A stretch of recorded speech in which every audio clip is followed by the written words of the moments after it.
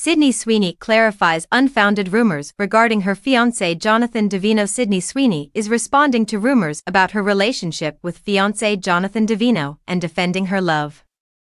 The relationship rumors involving Sydney Sweeney are anything but exuberant. The Madame Web actress isn't hesitant to refute any misconceptions she comes across regarding her fiancé Jonathan Davino, especially if it suggests that her partner, who is 13 years older, is the one who foots the bill.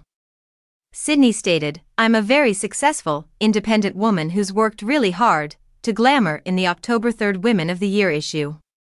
I support my family and myself, having achieved and purchased everything on my own. In 2022, Sydney, 27, and Davino, 40, announced their engagement, following rumors of a romance four years earlier. Regarding their professional relationship, the Euphoria actress mentioned that he is involved in other business endeavors. He therefore has no financial support throughout her career, including her production company 50/50, even though he is listed as a producer on her movies Anyone But You and Immaculate. I would be delighted to correct the record, Sydney continued. You do not need the man to be in a healthy relationship and achieve great success. We work together as teammates. Together, we are in this.